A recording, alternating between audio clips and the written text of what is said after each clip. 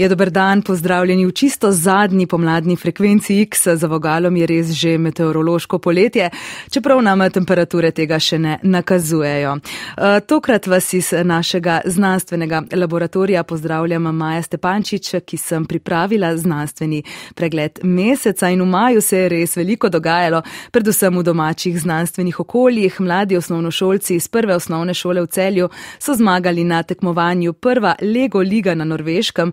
Ta mesec smo tudi pri nas opazovali Severni Si. V UKC Ljubljana so objavili pomembno študijo glede zdravljenja bolnikov s tveganjem za motnje srčnega ritma. Dobili smo komunikatorico znanosti, letos je to postala profesorica botanike in biologije celice Univerze v Ljubljani, dr. Marina Dermastja in Maja so razglasili tudi mentorja leta, ki ga bomo danes gostili v oddaji. Letos je to postal dr. Roman Kuhar z Filozofske fakultete v Ljubljani. Frekvenca X. Nagrado Mentor leta vsako leto podeljuje Društvo Mlada Akademija, samo nagrajevanje pa je namenjeno promociji dobrega mentorstva in dobrih mentorskih praks. Med 72 prijavami je bilo razmerje skoraj 50-50, 44 odstotkov prijavljenih je bilo žensk, 56 odstotkov pa moških. Letos je nagrado leta prejel sociolog profesor dr. Roman Kuhar z Ljubljanske filozofske fakultete. Roman Kuhar, eh, dober dan in hvala, da ste ste se odzvali našemu vabilu. Hvala lepa za vabilo. Mentor leta ste postali pred kratkim, čestitke še enkrat za to Hvala. nagrado. Kaj vam pomeni, kaj vam sporoča o vašem delu s študenti?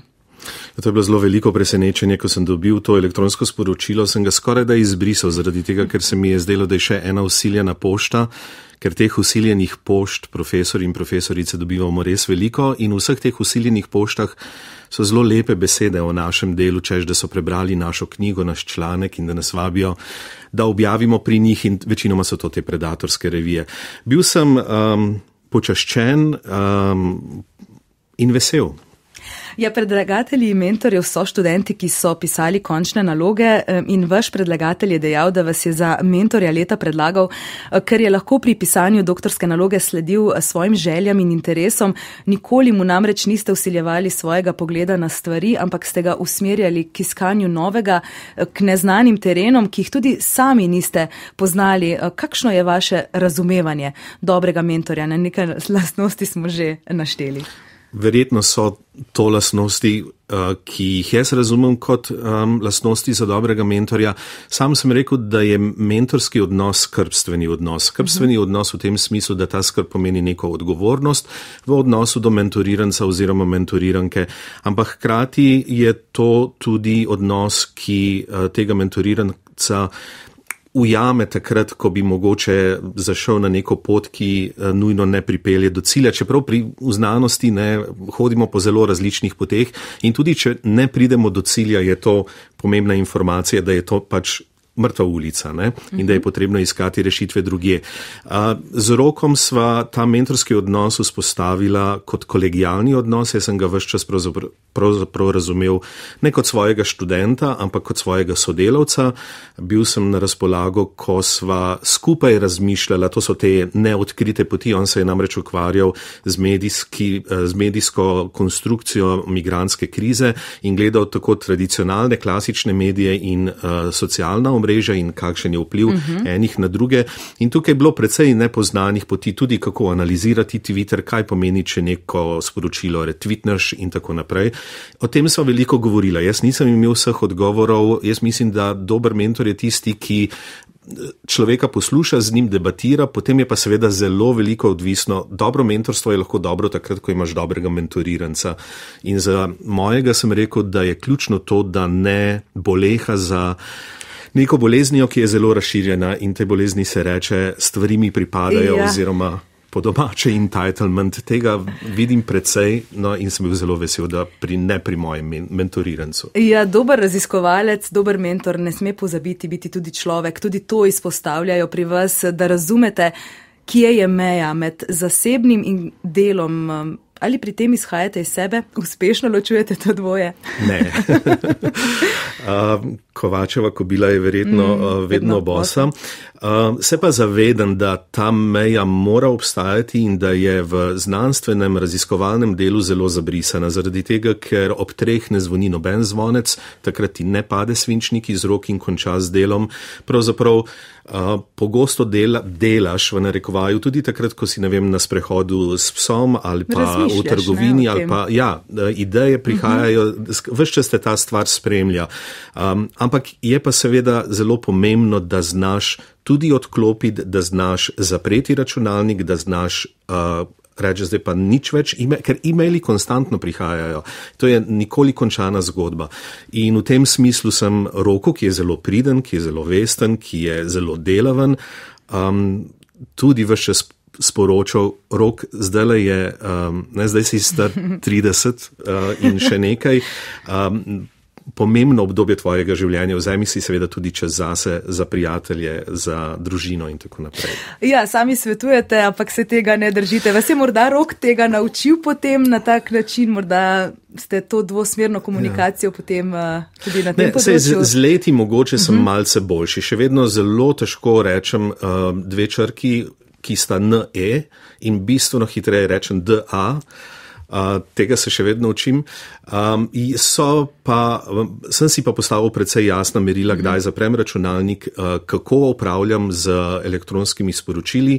Uh, od vseh številnih navodil, ki jih na YouTubu najdeš, kako organizirati svoje življenje in profesionalno delo in tako naprej, je edino eno bilo tisto, ki mi je res pomagalo mhm. in ga priporočam vsem, in to je politika uh, praznega inboxa, uh, ki pravzaprav pomeni Uh, uporabljanje funkcije, zdaj bom rekel lepo po slovensko, snus, uh, ne vem kako prestavi e-mail na čast, ko ga potrebujem, ker mi dobivamo elektronska sporočila, ki od nas zahtevajo neko delo čez Utišaj, recimo dva tedna ja. ali pa kaj podobnega in zdaj v teh sodobnih inboxih je možno to prestaviti na čez dva tedna in zvečer čist psihološko je res dober občutek, ko zapreš računalnik in je ta koš prazen in pospravljen. Ampak še vedno ga zapirate zvečer.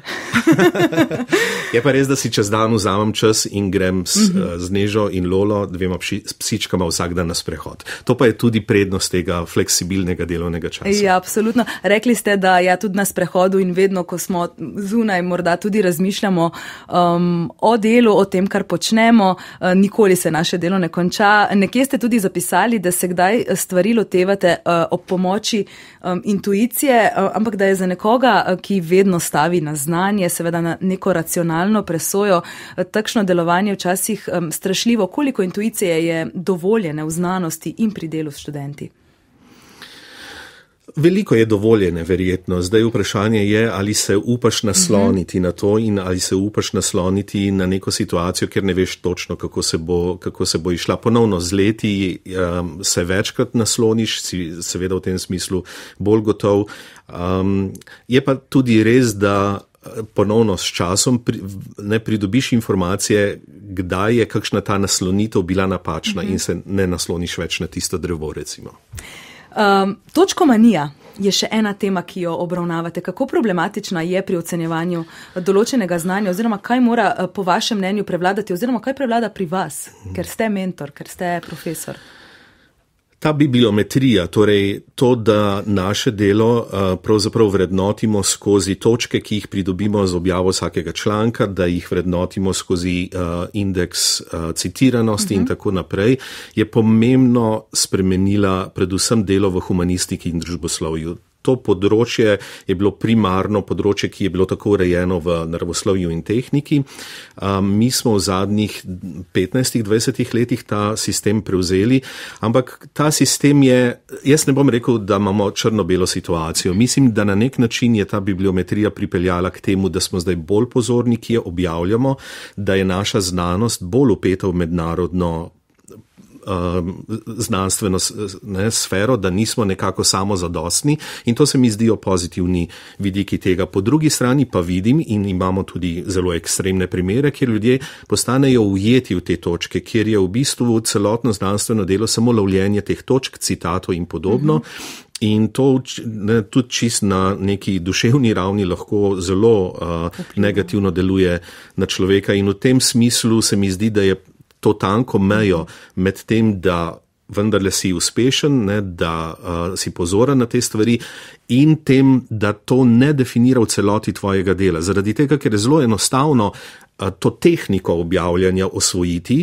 pridobivati te točke, vsak dan gledati, kje si na lestvici, ne, ampak ne vem, če je to dober izplen za znanost kot tako. Uh mhm. -huh. Doktor eh, Roman Kuhar, bili ste urednik revije na Robem, raziskovalec na Mirovnem inštitutu, ste profesor in bili ste dekan filozofske fakultete, zelo ste glasni in prav je tako, ko govorimo o pravicah, borite se za enakost vseh v družbi. Pa če greva k najnovejši, tako rekoč, diskriminatorni novici na področju znanosti, prireditev Mentor leta poteka v soorganizaciji in pod pokroviteljstvom javne agencije za znanstveno raziskovalno raziskovalno in inovacijsko dejavnost Republike Slovenije ARIS in pred dnevi je bilo mogoče prebirati, da se ta ista agencija postavlja nad zakon in dejansko diskriminira znanstvenice in znanstvenike, ki se zaradi nosečnosti materinstva, starševstva ali svojega zdravstvenega stanja določeno obdobje niso mogli strokovno udejstvovati. Kakšen je vaš komentar na to? Kakšne so vaše izkušnje? No, to je zagotovo nesprejemljivo in to ni situacija, ki bi bila nova. Uh mhm. -huh. Na to znanstvena srednja upozarja že nekaj časa in ne nazadnje ne, je to del um, nekih zakonskih določil, ki prepoveduje tako situacijo. Jaz sem vesel, da, kot razumem, so zdaj to rešili s tem, da bodo vstopni pogoji uh, drugačni in da bodo ti vstopni pogoji ne več vezani na to bibliometrijo, ki sem jo omenjal prej, ampak da bomo vsi pravzaprav lahko kandidirali uh, in da bo mogoče večji povdarek na vsebini naših projektov. Po drugi strani bi pa rad k temu lončku dodal mm -hmm. še eno dimenzijo, ki je sicer zdaj s temi novimi pravili mogoče razrešena, pa je bila tudi diskriminatorna. Mi poznamo dva tipa raziskovalcev v osnovi. Tisti, ki so tako imenovani čisti raziskovalci, ki raziskujejo cel svoj delovnik in mi, ki delamo na fakultetah, ki seveda predavamo, se ukvarjamo študenti in študentkami in potem pa imamo možnost teh 20 odstotkov še dodatnega raziskovalnega dela. Ampak eni in drugi smo do pred kratkim kandidirali uh, pod istimi pogoji. Zdaj, ne, če jaz 100% raziskujem ali pa če 20% raziskujem, v tem času ne morem sproducirati seveda. enake količine točk ja. in citatov in tako naprej. Um, ampak to je bila neka taka tabu tema, tega nihče ni odprl. Ampak recimo, da je zdaj to rešeno. Lahko samo rečem, um, diskriminacija se očitno tudi v znanosti pojavlja, če smo jo zdaj odpravili, mm -hmm. me to veseli. Ja, bomo videli še v prihodnje. Ste humanist. Um, Kako vidite vlogo humanistike v prihodnosti? Veliko stavimo na tehnologijo, ta čas pogovarjamo se o, o umetni inteligenci. Kje pa bo vloga humanistike družboslovja pri tem? Jaz mislim, da ta vloga narašča in pravzaprav me veseli z nekdanjim rektorjem, zdaj ministrom, profesorjem dr. Papičem, sva se večkrat o tem pogovarjala in veselilo me je, da je vedno uh mhm. -huh. priznal, mi vas vse bolj potrebujemo. Ne? Bolj, ko prihajamo z, neki, z nekimi produkti na trg, bolj ko smo bliže ljudem, bolj potrebujemo vaša znanja, ne, bolj je ne, to, kar vi razumete, uh -huh. raziskujete, pomembno.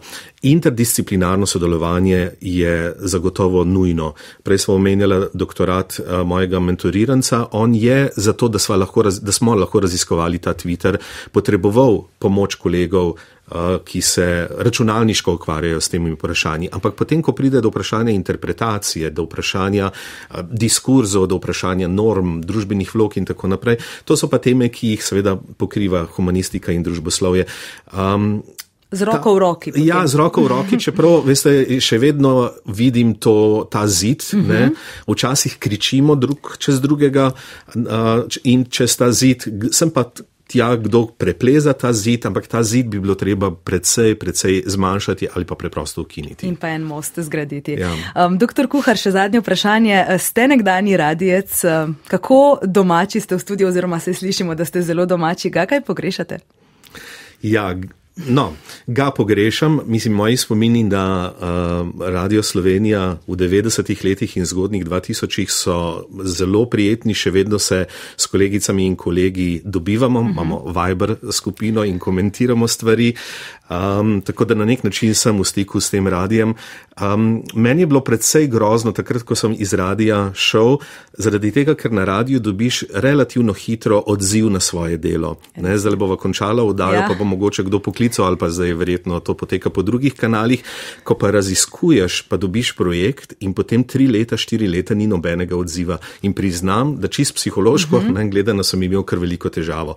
Ker sem se spraševal, a je to, kar počnem, sploh vredno, Smiselno. kaj jaz počnem in tako naprej. Tako da to, ta lekcija je bila kar težka. Ja. Um, ampak radio, ko si enkrat pred mikrofonom, je to ljubezen do konca življenja. Res je, se strinjam. Doktor Roman Kuhar, mentor leta, najlepša hvala za obisk v studiu in seveda vse dobro še naprej in še naprej tako uspešno mentoriranje želim. Hvala lepa, hvala lepa za vabilo. Frekvenca X. Zdaj pa sledijo še novice iz sveta znanosti. Konec maja Slovenska znanstvena fundacija razglasi komunikatorja ali komunikatorico znanosti za odličnost v komuniciranju znanosti. Letos je nagrado prejela profesorica botanike in biologije celice Univerze v Ljubljani, doktorica Marina Dermastja, ki je postala tudi ime tedna na valu 202. Z njo se je v ponedeljek pogovarjal Roku Žel, med drugim ga je zanimalo tudi, koliko jo skrbi prihodnost prihodnost našega planeta. Za naš planet me ne skrbi popolnoma nič. Zato, ker pač je eh, v celi zgodovini Zemlje bilo pet velikih izumrti, v, od začetka nekako ocenjujejo, da živi samo še okrog 2% tistih živih biti od začetka. Ampak življenje se vedno znova obnovi, evolucija deluje, pri, eh, organizmi so izjemno prilagodljivi. Ampak, eh, če bomo pa obstali mi kot vrsta, tega pa vam ne morem zagotavljati. Ja, za človeka ni zagotovil življenje na Zemlji, bo pa gotovo obstalo, je dejala letošnja komunikatorica znanosti, doktorica Marina Dermastja. Čestitke za nagrado, tudi zaradi dobrega komuniciranja znanosti lahko posamezniki bolje razumemo znanost in svet okrog nas.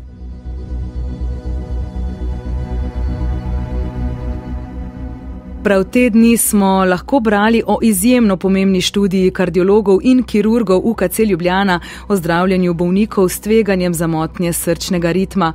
Kot prvim v svetu jim je uspelo potrditi, da je preventivna kateterska ablacija koristna strategija zdravljenja za bolnike z visokim tveganjem za nastanek življensko ogrožajočih moten srčnega ritma. Smo dokazali, da v bistvu, če to naredimo, preden dobi um, pacijent šok, zmanjšamo za 67% verjetno za nastank aritmije. Tako je povedal vodja študije dr. David Žižek v torkovih dogodkih in odmevih. V študijo, ki je trajala sedem let, so vključili 60 slovenskih bolnikov, to so bili po večini moški, stari približno 67 let. Vsi so imeli srčno popuščanje in zamašeno žilo z infarktno brazgotino, niso pa še imeli moten srčnega ritma. Bolnike so spremljali 44 mesecev. Rezultati raziskave sicer še niso dovolj za spreminjanje klinične prakse, je še pojasnil dr. Žižek in eh, pojasnil in dodal, da so z njimi odprli vrata v možnost preventivnih ablacij.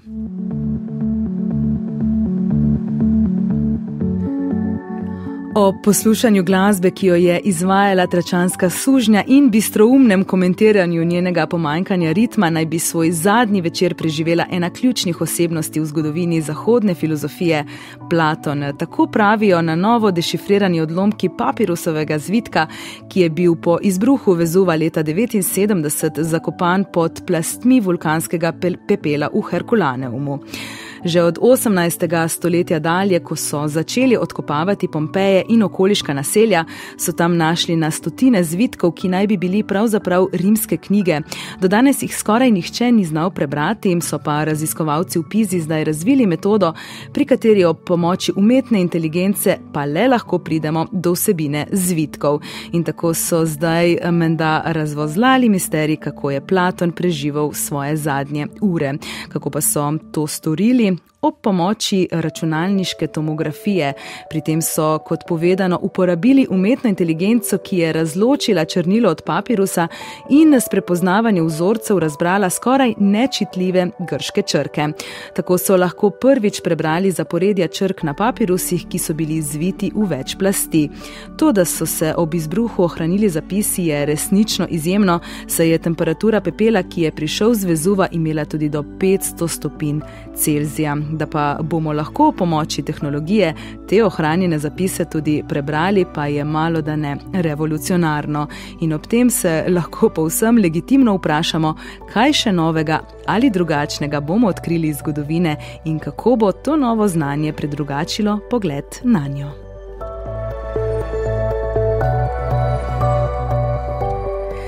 Umetna inteligenca nam pomaga odkrivati skrivnosti iz preteklosti, je pa tudi vse bolj prisotna kot tehnologija sedanjosti in tudi prihodnosti.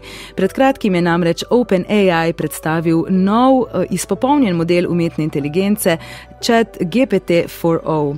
Model bo na voljo oziroma je na voljo brezplačno, razumel bo in tvoril besedila, govor in vizualne vsebine, se pogovarjal z nami, govoril šale, prepoznaval čustva sogovornika, podpiral bo tudi um, slovenščino in menda zna biti tudi sarkastičen. I'd like you to be super sarcastic. Everything you say from now on is just going to be dripping in sarcasm. How does that sound? Oh, that sounds just amazing. being sarcastic all the time isn't exhausting or anything. I'm so excited for this. nope, the sarcasm. Let's get this party started or whatever. Se verjetno ni treba prevajati, gotovo je bilo zaznati sarkazem že v načinu in tonu odgovora Chat GPT-ja 4.0. Ta različica je na voljo brezplačno, vendar z nekaterimi omejitvami, da nimo število sporočil, ki jih lahko pošljajo, je odvisno od trenutne uporabe in povpraševanja. Ko uporabniki brezplačne različice presežejo svojo omejitev, bodo samodejni preusmerjeni nazaj na uporabo Chat GPT-ja 3.5 pet. Več o dogajanju okrog uporabe glasov in spoštovanja avtorskih eh, pravic pri zasnovi ChatGPT-ja 4.0 pa lahko slišite v aktualni epizodi podcasta Tehnična podpora.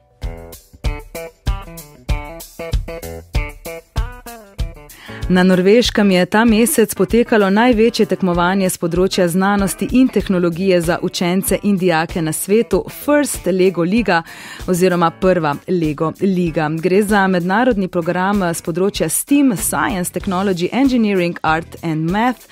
Projekt pa opremlja otroke in mlade znanji in s kompetencami 21. stoletja. Seznanja jih znanostjo, uporabo tehnologij v koristne namene, spodbuja samo inicijativnost, podjetnost, ustvarjalnost in timsko delo. Letošnjega tekmovanja, ki je potekalo v mestu Bode na Norveškem, se je udeležilo 50 ekip z vsega sveta, tudi Slovenije. In ekipa učencev prve osnovne šole Celje je na dogodku pravzaprav postala prvak oziroma so to postali Maša, Brina, Neja, Julija in Tjan. Dober dan. Kako ste, um, kakšna um, izkušnja je za vami? Je zelo dobra izkušnja. Uh, prišli smo na Norveško na tak mal bolj beden dan, smo tudi malo bili utrujeni, ampak takoj, ko se je začelo tekmovanje, smo se vsi začeli veseliti, dobili smo nazaj energijo. Uh, nismo pričakovali tako velike nagrade v takšnem merilu, smo pa zelo veseli, ker smo v to vložili veliko truda. Ti si? Maša. Maša. Um, ja, um, zakaj znanost? Na začetku se mi zdi, da samo Tjan je bil bolj kot ne v znanost usmerjen. Um, vse druge smo bile bolj, ker, ker smo večinoma ženska ekipa, smo bile mogoče bolj družboslovni tipi, ampak nas je vse FLL usmeril v robotiko, v programiranje, računalništvo. Preden sem začela obiskovati FLL, tudi sama nisem na računalništvo hodila, uh -huh. pa sem začela. FLL se tudi bolj začela zanimati za programiranje v drugih programih, kot sam Lego Education. Povejte mi, kaj ste počeli, kakšna je bila naloga, kaj vam je bilo najboljše? Ja, v bistvu na tekmovanju smo imeli uh, dve poskusni rundi za robota in uh, tri dejanske kroge, kjer so se točke štele. Imeli smo pa še predstavitve, kjer smo predstavljali robot design projekt in pa vrednote. In v bistvu tisto, kar nas je sprostilo, so bile vrednote, ker so tudi druge ekipe, pač ko se ocenjujejo vrednote in so vse ekipe zelo prijazne, skupaj se zabavamo in spoznavamo druge. Mm -hmm. FLL, First Lego League. Kako ste se spoznali s tem projektom? Na naši šoli to deluje tako, da je učitelj tisti, ki se odloči, kateri učenci se mu zdijo za to najbolj primerni, saj je za to potrebnega veliko časa ter discipline. Um, ostajamo v šoli vsak dan do petih, uh, tudi med sobotami in nedeljami, včasih, oziroma večinoma tudi med počitnicami. In je prvo vprašanje, ki nam ga postavi, ko pride do nas, uh, ali si zagotovo prepričan, da imaš čas. Šele potem, ko odgovoriš na to, greš lahko na naslednje stopnje vprašanj. Uf, to je pa resnična predanost znanosti in tehnologiji, kar poudarja tudi njihov mentor Žan Močivnik, učitelj matematike in računalništva. First Lego Liga je v bistvu pač eh, projekt, ki navdušuje mlade za raziskovanje, znanost in eh, robotiko. V Sloveniji, seveda, Zavod Superglavce skrbijo za to, da lahko te dogodke se pri nas udeležijo, potem ko si pa zelo dost e, dober, greš pa predstavljati zadeve v tujino. In v tem primeru so moji učenci letošnji na odprto Evropsko prvenstvo na Norveško, kjer so predstavljali e, v enem delu svoj inovacijski projekt, potem robota in tekmovanje za robotsko tekmo, in seveda vrednote, kjer nekako kot ekipa vrnemo nazaj naši okolici in družbi, kar se da najboljše. Kako pomemben je dosežek um, v svetovnem merilu in seveda za slovensko uh, javnost oziroma osnovno šolsko javnost? V svetovnem merilu je to najboljše, kar lahko dosežeš, teže dobiš, lepši in boljši uh, pokal. Za Slovenijo je pa to prvo tako mesto, oziroma smo trenutno prva ekipa, ki a, imamo naziv prav, oziroma pokal šampion.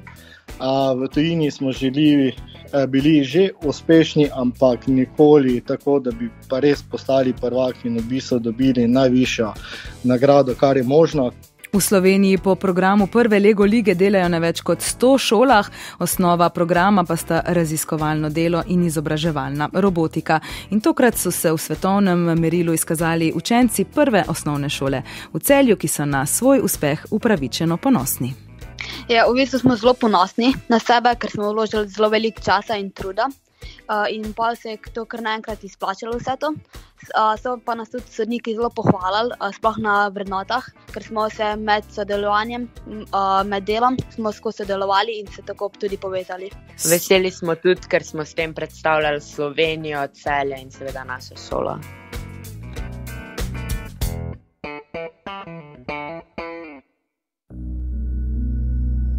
Za konec današnje frekvence X pa se spomnimo še na to, kakšna umetnica je naša narava. Ta mesec smo lahko v Sloveniji spet eh, opazovali čudovite vijoličaste barve neba. To je bila posledica močnih izbruhov na soncu, ki so zdaj v obdobju najbolj intenzivnih dejavnosti. Severni si je v Sloveniji redek pojav, ampak v zadnjega pol leta smo ga lahko videli kar trikrat. Profesor dr. Tomaš Cviter z Ljubljanske fakultete za matematiko in fiziko poudarja, da lahko pričakujemo, pričakujemo še več takšnih dogodkov v prihodnjih mesecih. Skoraj sigurno se bo še kaj zgodilo, seveda pa ne vemo vnaprej. Se pravi, vemo, ko vidimo izbruh na Soncu, pa potem morda dva dni vnaprej, da ta izbruh prije do Zemlje. Zaradi tega en dober nasvet. Uh, Poglejte, naprimer, mesto na mreži je www.spaceweather kot vesolsko vreme, spaceweather.com in tam boste našli že na vrhu strani, kaj se dogaja, in tam spodaj na levi strani tudi eno tako karto sveta. In če bo ti zelen krancel okrog, eh, rečemo, arktičnih predelov, eh, ratu armenkast ali pa sto rdečkast, potem veste, da morda bo to noč kaj zanimivega. Zdaj pa, če ne gledamo točno te slike oziroma zemljevida, kdaj točno velja v bistvu biti pozoren na nebo, eh, je te pojave mogoče napovedati? Eh, je mogoče napovedati kakšno uro, dve vnaprej, medtem ko drugače, rečemo, neko verjetnost lahko govorite. Predvsem pa je bistveno, da, da ste zvedavi. Zvedavi pa pomeni, eh, ja, kaj mora biti izpolnjeno, da boste videli severni si iz naših krajev. Prvič, biti mora noč, se pravi, samo po noč se to vidi, drugače je enostavno prešipka svetloba. Potem uh, morate biti proč od luči, se pravi, mestna razsvetljava, ki že sicer nam doska dela več škode kot koristi. Tukaj dejansko vas onemogoči, se pravi, morate iti nekam v naravo proč od umetne razsvetljave. In uh, zdaj ni več večerna zarja ali jutranja zora, kljub samo pa neki tipično rdečka stožari, pa ni uh, kakšna oglasna reklama iz sosednega kraja. V tem primeru morda res gledate severni si, se pravi rdeče žarenje neba, relativno temno, ponavač videti v trdi noči in v dobrih opazovalnih pogojih, se pravi seveda jasno in proč od luči. To je pravzaprav recept. In uh, ne bo vam škodilo, če boste uživali v nočnem nebu, tudi če ne bo severnega sija. Lepo je za pogled. Ja, upajmo, da bo v prihodnih dneh tudi kaj bolj jasno, ne bo, da bodo ti pogledi tja gor še toliko bolj vznemirljivi. Sicer pa vsi navdušenci nad znanostjo in lepoto narave boste v prihodnje še prišli na svoj račun. Severni Sibo, kot ste lahko slišali, še viden in ne bo vam treba na sever, da ga boste ugledali. Frekvenca X. Tako, to je bila zadnja majska frekvenca X. Hvala, da ste ostali zraven. Jaz sem Maja Stepančič. Naročite se na naš podcast in nas tudi ocenite. Veseli smo vaših odzivov. Adijo.